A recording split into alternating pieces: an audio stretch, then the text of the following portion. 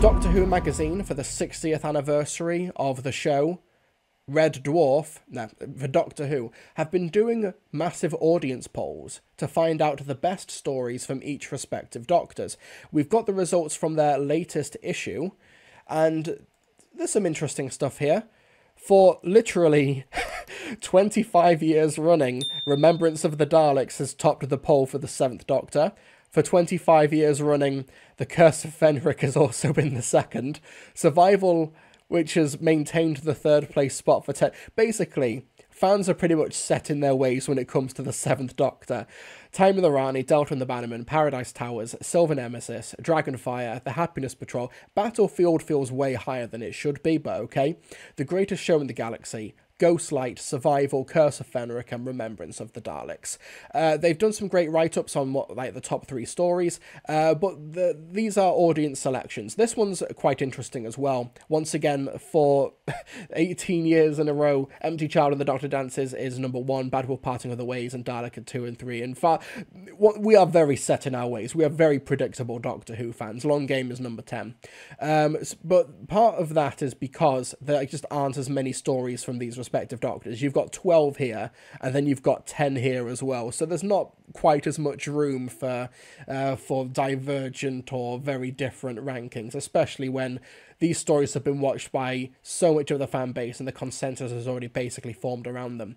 So what they're doing right now is that the next issue is going to have the 10th and 11th Doctors. Um, there's no there's no poll here for the 8th Doctor. I'm assuming that the love and the outpouring of support for the TV movie was simply too great. But if you go on Doctor Who Magazine.com and you go on the DWM poll section, you can vote. So 11 and 12, that's already been decided. Uh, for 10 and 11, that's already been decided. The votes have been cast, and that's going to be the subject of the next issue of Doctor Who magazine. But the 12th Doctor and the 13th Doctor, those polls are still open. When do they close? When do the polls close? This poll closes on the 19th of July. But, folks, me and you, you specifically, Ben, we're going to be going through this poll together, okay? You can obviously do it yourself, but I'm going to rank out of 10 all of the 12th and 13th Doctor stories. We're going to do it the same way that they pick the Pope. We're going to rate them out of 10, and then Doctor Who magazine is going to accumulate all of the tallies and all of the rankings and put it in a preferential ballot. So, let's go. Deep breath six stars. I'm inclined. Uh, some of these stories I've not watched for a long time. Presumably, that's why my opinion is going to be superior to so many others. So, deep breath. I'm feeling six. Is that controversial? Six or seven? Into the Dalek, I'm very confident putting four. I did a whole review for Dalek for it, why I don't really think it particularly works. Eight? Se- no, you are you folks are way too charitable. Robot of Sherwood, I've not seen for quite a while. I remember thinking it was okay. We're gonna go for five. We're gonna go for right down the middle. Listen, I am also feeling in a similar category. We're also going to be pretty quick as well. So you folks are going to have to be quick on the mark with your uh, with your ratings, and also maybe be ready for the next one as well. Listen, I'm going for four because I think it relies way too much in abstraction and it's not nearly as clever as Steven Moffat thinks it is. So I'm I'm okay. I'm seeing some eights. I did dismiss your higher rankings for Into the Dalek and Robot of Sherwood, but maybe I'll go for five.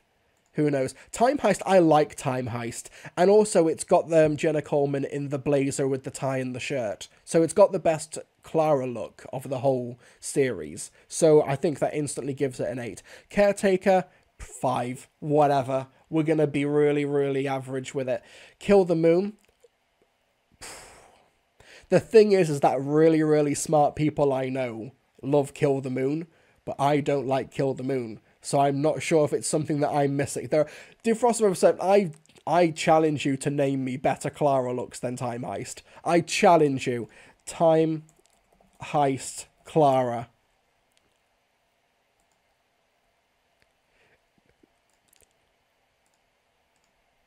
You, Defroster Robot 77, you think that there's a better Clara look than this? Do, really? Are we going to have this conversation now? midstream. Na- name the episode Defrosted Robot 77. Do it. Name it. Face the Raven? No, that's just a cardigan. Sent Mummy on the Orient Express Clara. This week will stands for Jenna, for Jenna Coleman in Time Heist exclusively. Um, okay, this is a good look, but this is like, you know, once in a blue moon you dress up like this. The hair's nice though. Eye makeup is strong, but come on. That's a good look though. Defrost, I Defrost Robot seventy seven. You have earned the com you, you have earned a, a slight retraction. I might I was maybe a bit too harsh to you. We're not having a Jenna off because she's not here to participate. So, Kill the Moon, 5, go. Mummy on the Orient Express, 8. And 8 is like, I, 8 means I really like it. Kill the Moon, 10. Hmm. You did say, Jack, that you liked the live stream, so I think we'll do that.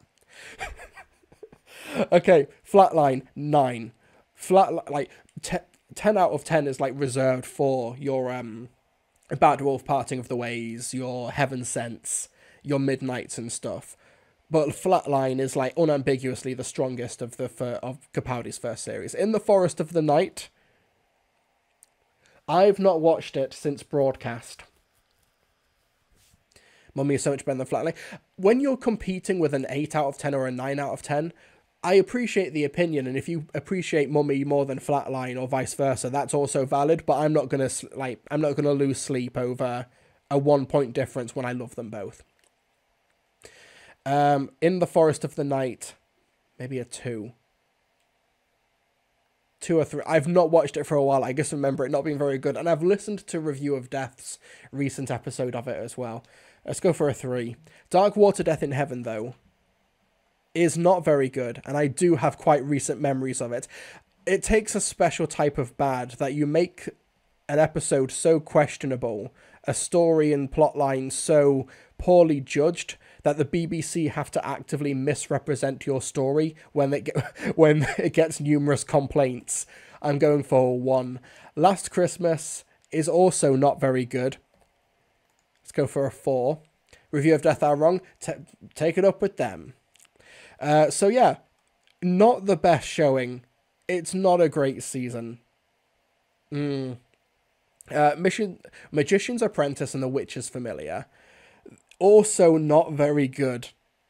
It's probably the worst Dalek story, in my opinion. It goes Magician's Apprentice, which is familiar, or Asylum of the Daleks, and then Destiny. I'm gonna, yeah, let's go for a two. Listen, Listeners, great. A lot of these stories, because I did not like them on broadcast, I've not properly revisited them. Like, I've not watched Listen or Robot of Sherwood for years. I've not watched In the Forest of the Night since broadcast. I've watched um, Deep Breath since. I've watched Dark Water Death in Heaven for Cybersember. Those memories are still quite vivid. I watched Last Christmas, the Christmas before last, I think. It didn't really leap out at me. So yeah, Under the Lake and Before the Flood, nine. This is like the the best story of the series.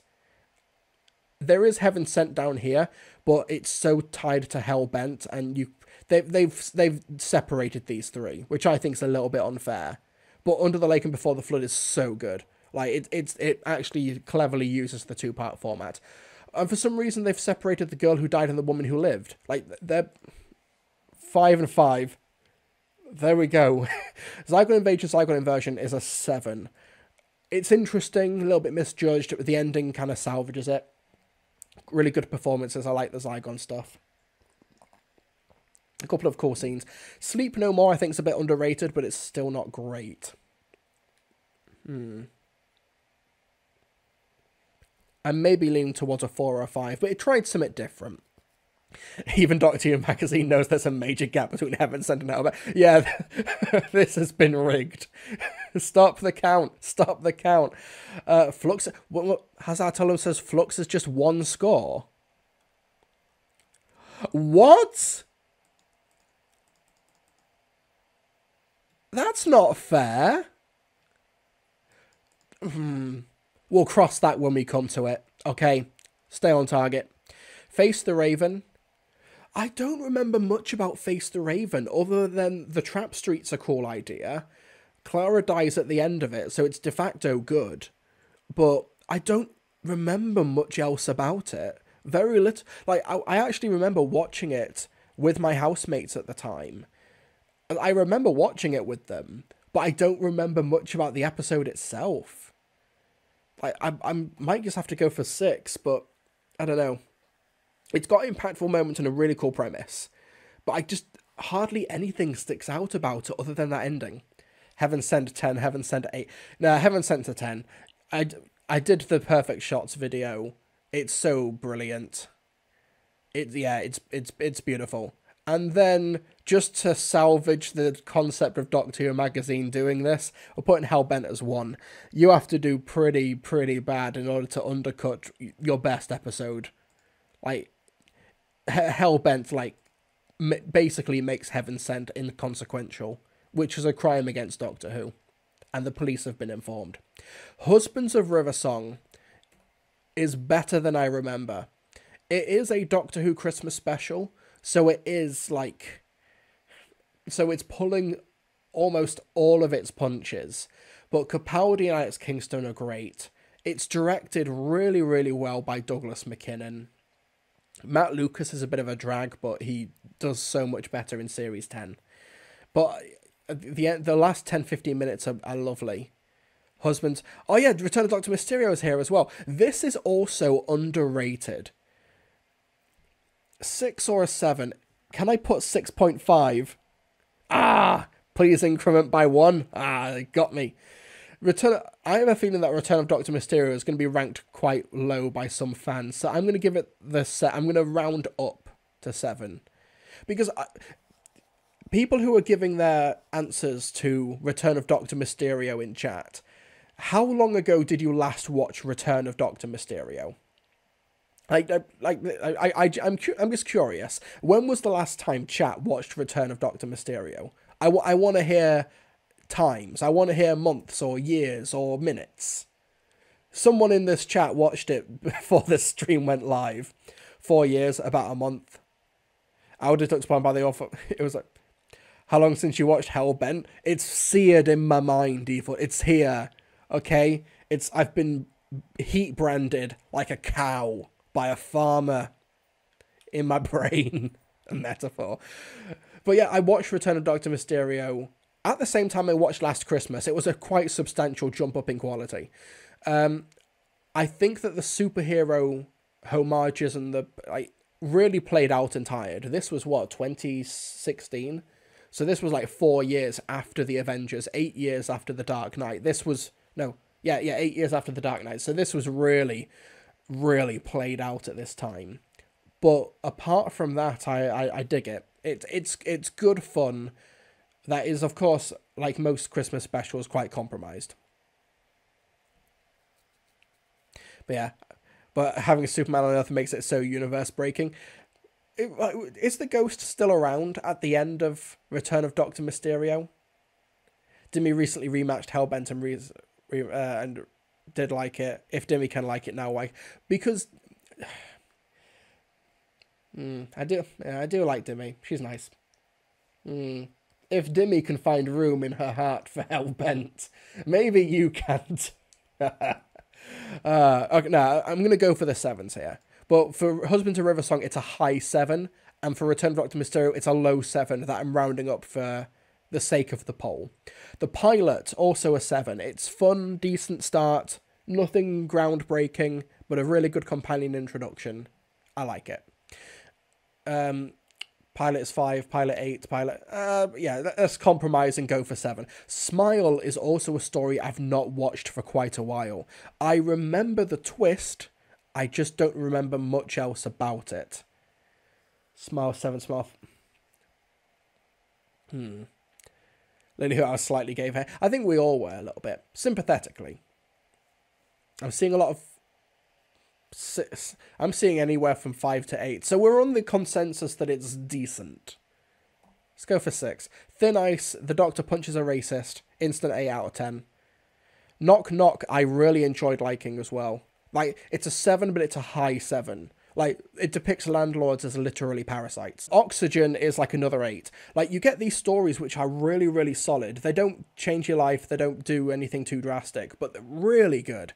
And the Doctor goes blind. Now, the Monk trilogy is really easy to rank because it gets worse as it goes along and it starts at a six. Easy. Six five four. Empress of Mars it's like Smile. I've not, I don't think I've watched Empress of Mars since I did my series ranking in 20, 2020, 2021. I don't remember anything about it.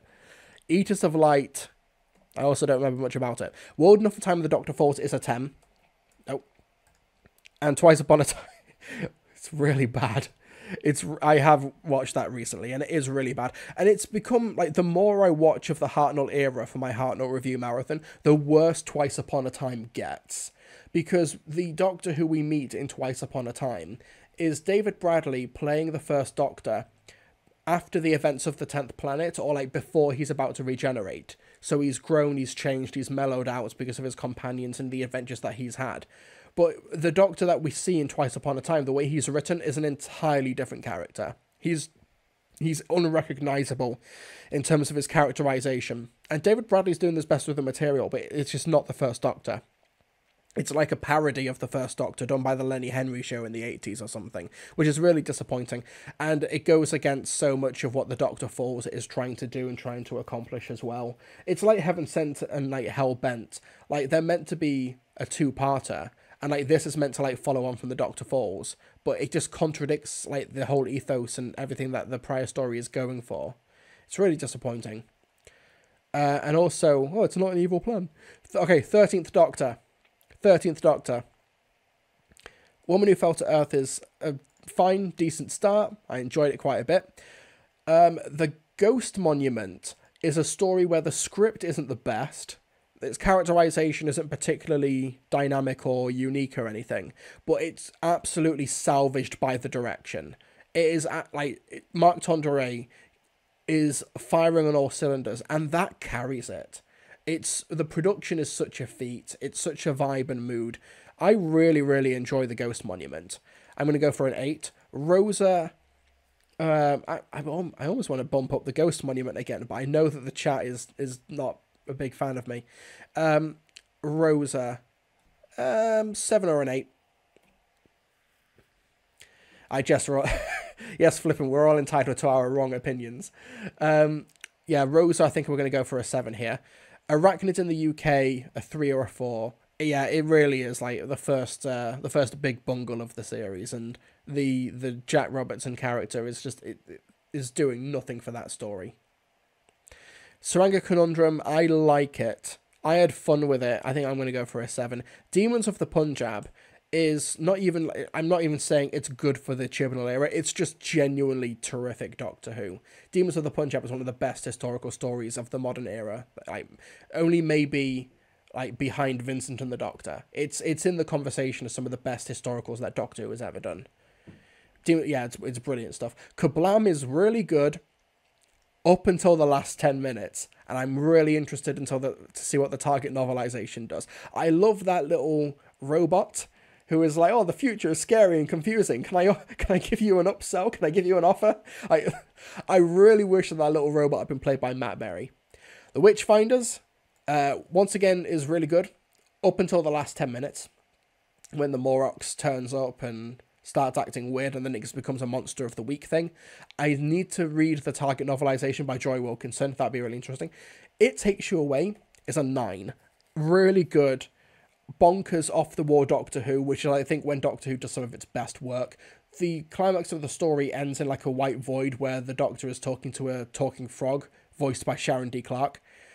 So it's pretty audacious. Ribbons is one of the best guest characters of the era so much fun. You know, he's just walking around the cave with this big balloon. really good. And it has a lot to say about grief and stuff. I think that uh, Bradley Walsh, it's one of his best outings. It's a really lovely story. Battle of Ranskoor Av Kolos, I don't dislike it to the extent that everyone else does, but I still think it's pretty average, bordering on a little bit lower. Um, it's got really cool direction and some great ideas. Like the duo species is really cool, and I like the production values. I think Jodie Whittaker is really good in it. Tim Shaw's um, actually a pretty decent returning villain for that. But uh, yeah, maybe I need to revisit it because I've not watched it uh, for quite a while. I didn't hate it, and I don't think I have it in my heart to hate it. Maybe apart from the ending, where it's like we're not going to kill you, we're just going to put you in suspended animation where you, you're going to be conscious the entire time. To quote Davros in Resurrection of the Daleks, we're going to call it being humane. so yeah, four or five. I, I even if like you, the chat could talk me into bringing the the number lower. I don't have it in my heart to hate the Battle of Ranskoor Av Kolos.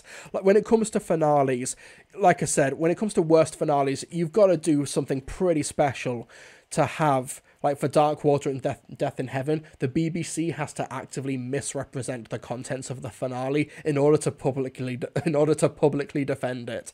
Battle of Ranskoor Av Kolos, for all of its faults, didn't do that. Resolution 8.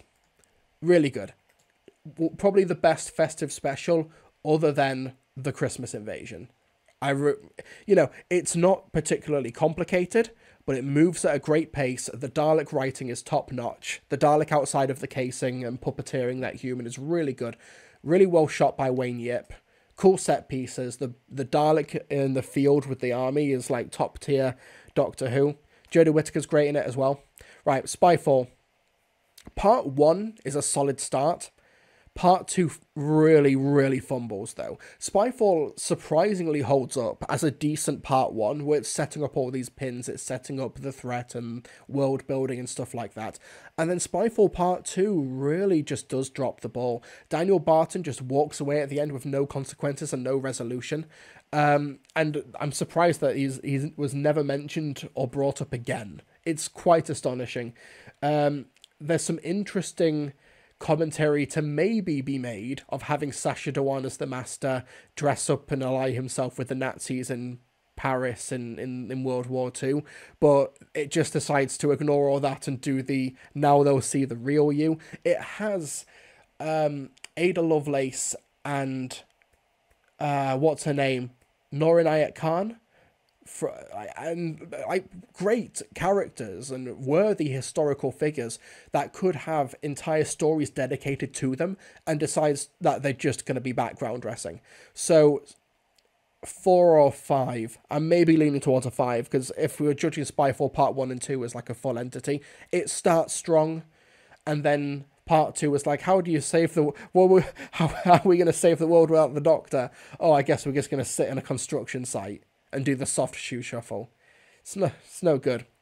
Orphan 55 is not good, but it's not the worst thing ever.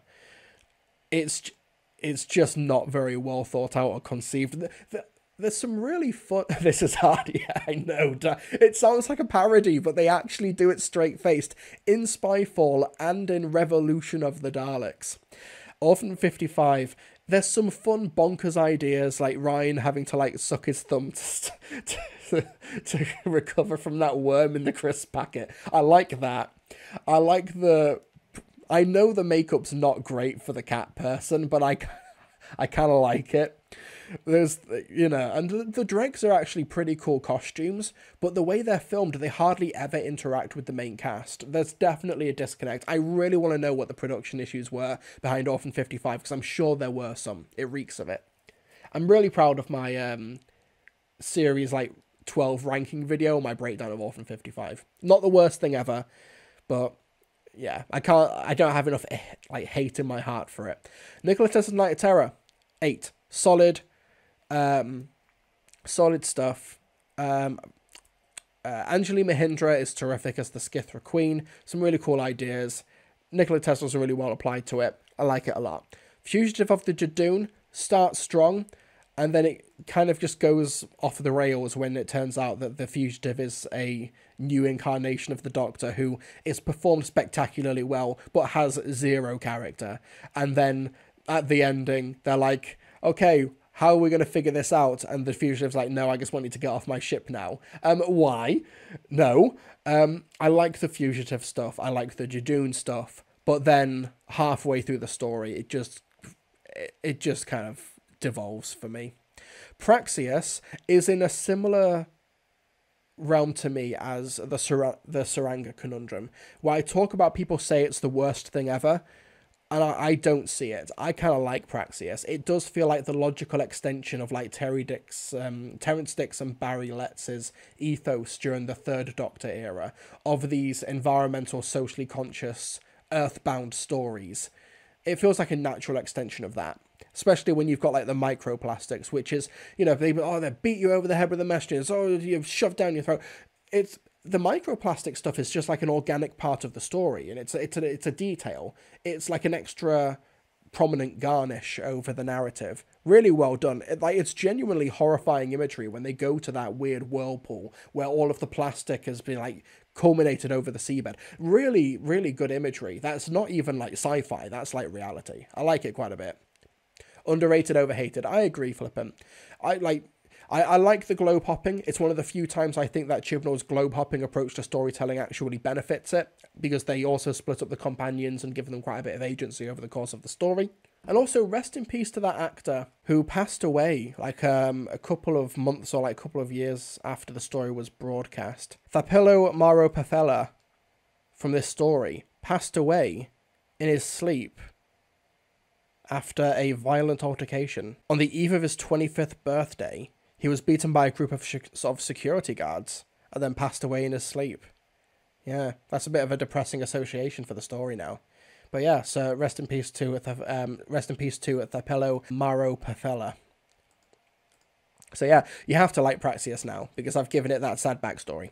So can you hear me? I'm gonna go for another seven because uh, I appreciate what it's going for, and I think the dramatic stuff does hit really, really hard, particularly Yaz's stuff. Um, one second, let me figure this out for a second.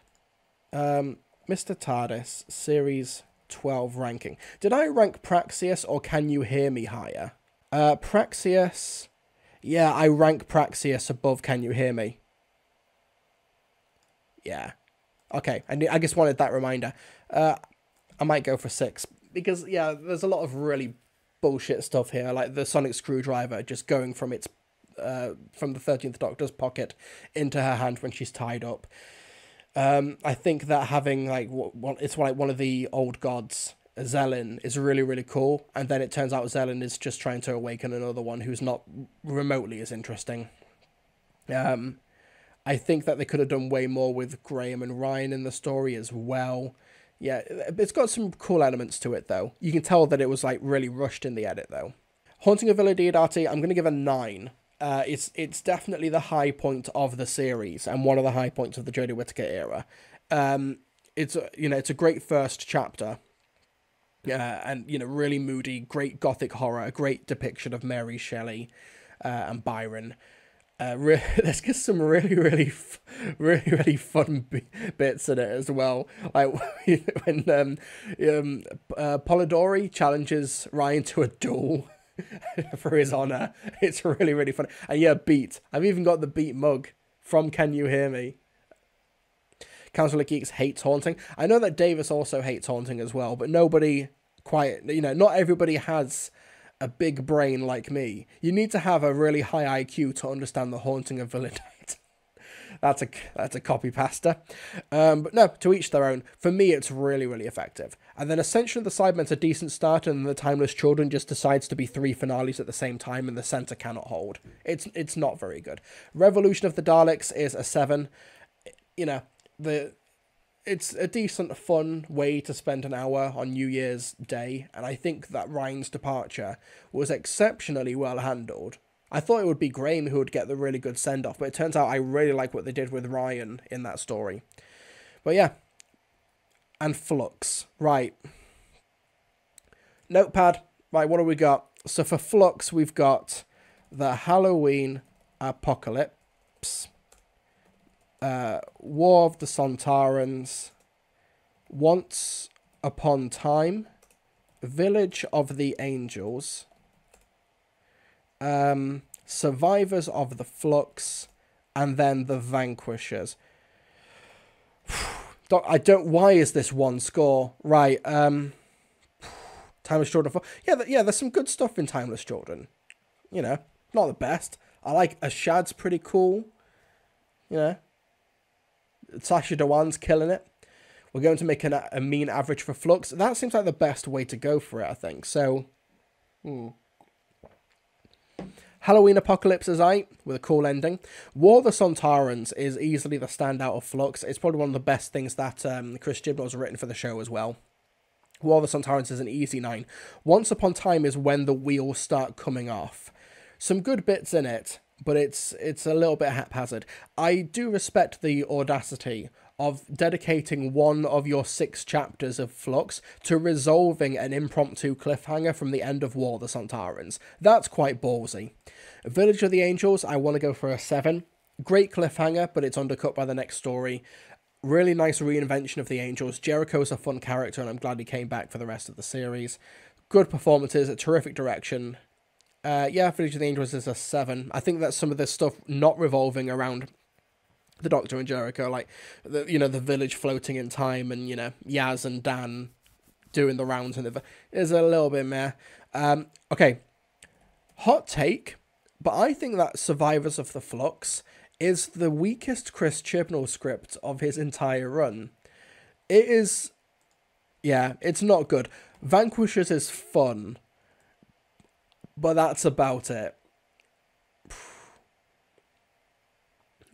The entire yeah this is weaker than all i know that Chibnall didn't write Orphan 55 but out of the entirety of the Jodie Whittaker era survivors of the flux i think is the we- is the weakest story.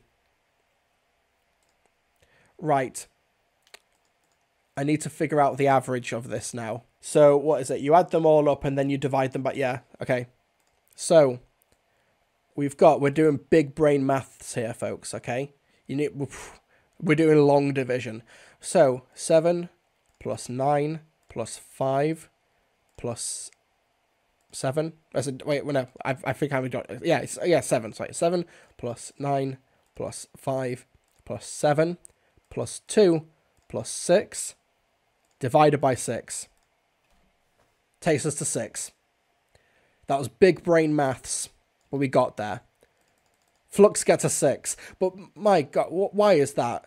It will be so interesting now to know how an entire series stacks up to the rest now. That wasn't fun or clever. I don't know why they did that. We need a platform for that big. We are. We absolutely are. We're gonna one of those ones that flips around. Uh, I don't approve. Too high? Nah, six sounds about right.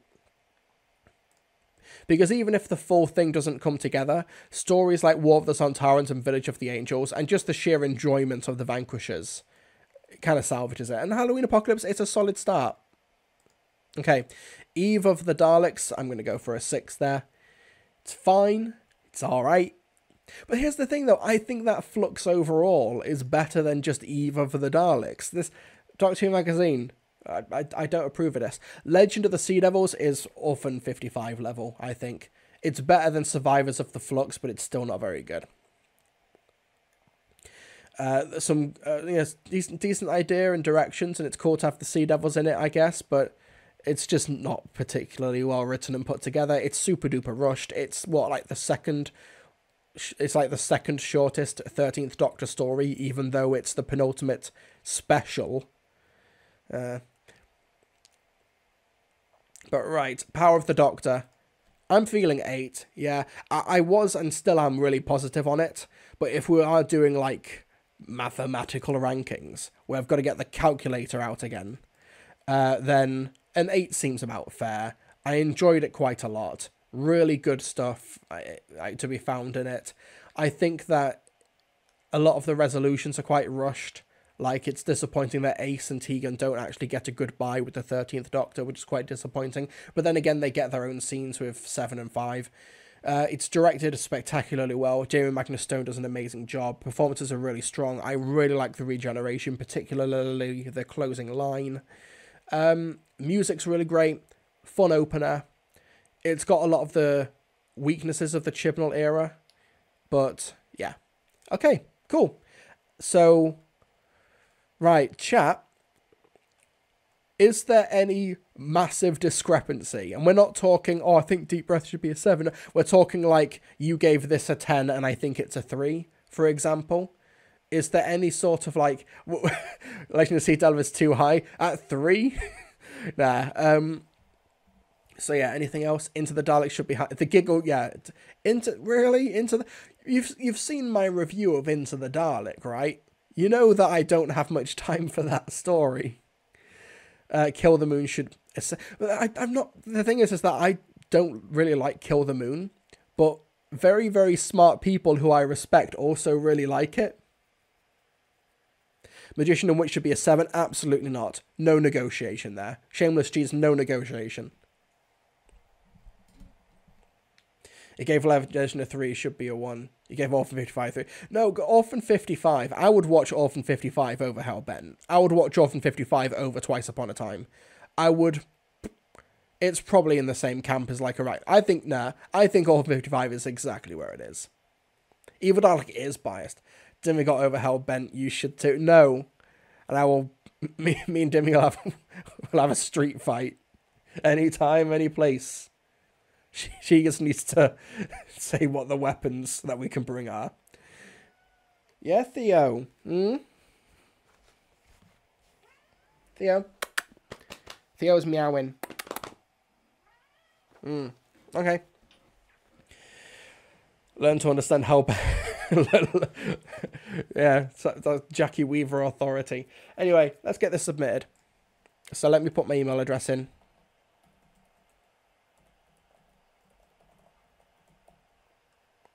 Okay, submit. Yeah, Theo, come on, jump up. Oh, you banged your head. Here we go. Doctor Who magazine, sponsored by Theodore the Cat. I love this chat for collectively reviewing 14th Doctor. Yeah, that's, that's kind of what we do in it. Anyway, so I've submitted. I've just noticed why do you have a picture of Frank-N-Furter on your wall? Um, Kcast, are you in the UK? I'm not sure if you are, but it is like now legal mandate to have a, a Rocky Horror Picture Show photo uh, in your office space. I don't know what the government are thinking, but that's just a legal mandate. So, the Doctor Who magazine 60 year poll, the form has been submitted. My submissions for the 12th and 13th Doctor stories. You can go on doctorwhomagazine.com forward slash 60th poll, or just go on doctormagazine.com and follow this tab at the top. And the um, and the results from this particular form will be available in the the, the next issue after the next issue of Doctor Who magazine. The next issue is going to have the results from the 10th and 11th Doctor, which I did not vote for.